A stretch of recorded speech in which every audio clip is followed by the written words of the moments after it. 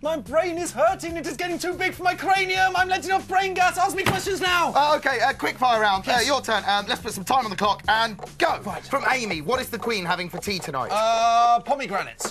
yes, I think that might be right. I haven't seen the menu, but I reckon. One from Kari. Dan, where can I get an old lady from? Uh, the Help the Aged charity shops. 10p, 20p if you want a bag.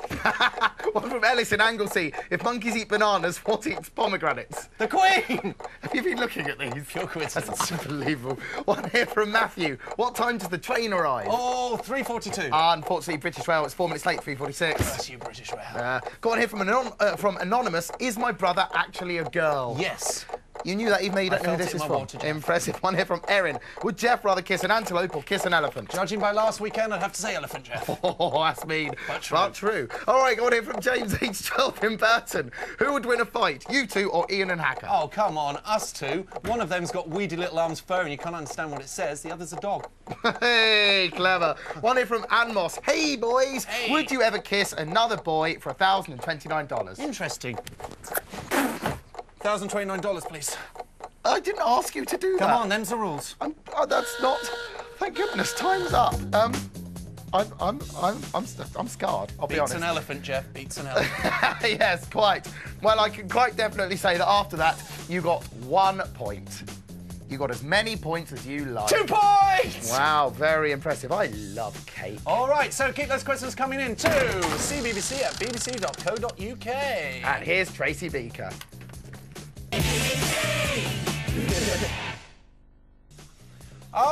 Before Tracy Beaker, I got an amazing two points and ate a cake. Let's see if Jeff can do better. You ready, Jeff? I think I might. Yeah, I'm ready. Let's go. Here we go with your quick fire round. Start the clock. This is from Catherine in Ireland. If you were to describe your foot as food, what would it be? Probably uh, an overripe Stilton. Mm, I can smell it from here. Yeah, not nice, Oh, though. lovely with crackers, though. Okay, this is from Izzy. Do sheep count as humans? Oh, sorry, I'll start again. This is from Izzy. Do sheep count humans when they get, get to sleep? They can't get to sleep. Uh, they would, but they're really bad at maths, uh, and they can only count up to one on each hoof. All right, okay. One, this is from one, Natasha. one. Will flying bat monkeys ever take over our universe? Uh, they actually did, and they ruled the universe in the 17th and 18th centuries. what happened to them? Just as any empire, they, they fell. Victims of their own greed. Learned nothing from the Romans. This one's from Laura. If you wanted to love someone and there was only a male pig on this earth, would you love him? Yes, he would be my special little ball. I refer us again back to last weekend, Jeff. okay. This one's from Isabel from Northern Ireland. Jeff, how many bananas do you own? Uh, I did have six until Dan got his hands on them. Now I owe him three. Right. this one's from Zoe Ann. Would you ever kiss an elephant for money? The last weekend? We are never going back to that zoo, are No. we? You were an animal, Jeff. Poor, poor Jumbo. All right, this one's from Helen. Would you rather pick your nose and eat your bogies or eat your toenails? I have to make a choice. You have to make a choice. Which you rather do? How can I choose between the two? Oh, lucky. We'll go into that one later. Well, Jeff, I've totalled up the points. You got one. Um, I made you a lovely cake. Oh, thanks very much. So, how many points do I have now? One. One, of course. Thanks, Dan. Well, keep sending in your questions to us here at cbbc at bbc.co.uk. Dan, tell them what's on next. A. No, no, what was that? No, no, it's not Tracy Beaker. That was on. It's Hotel Trouble. You haven't got a clue. Hi, it's CBBC. It's Wednesday. It's Ask a Stupid Question Day, and I've hit my quarter to six lull. I don't want to answer any more questions. Well, then don't you worry, my little Tinkerbell, because not only have I got my game show jacket, my over the top game show tan, and my fabulous, glamorous dolly bird, Gabrielle DeSands, right over here, I've also got and brought back the random answer generator. whoop-de-doo. All right, Jeff. Gabriella, if you'd like to put some random answer balls into the generator, we can get going. Straight inside, there they go. Oh, the generator is loaded, Jeff, so ask me some questions. Barely contain myself. All right, go on here from Phoebe, who asks, why don't you use a hula hoop to play golf? Good question. Let's see what the generator has to say. Here we go.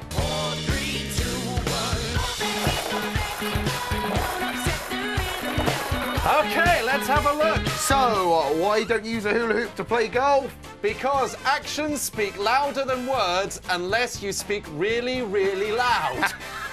There's the reason. Gabriella, does it fly? It the flies! All right, I really like that answer. Okay, go on here from Anonymous. Why is it called a drive-through when you have to stop? It's a good question. Let's see what the random answer generator has to say. Here we go. All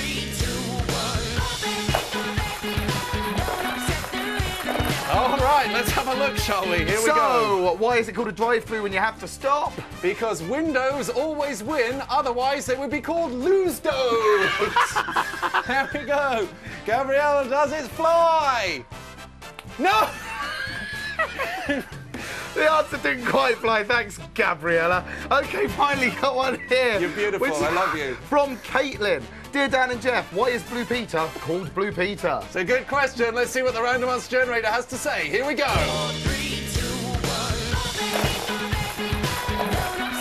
All right, let's get this question out. Here we So, are. why is Blue Peter called Blue Peter? Because if a pit is not bottomless, then there is something, someone's bottom down there.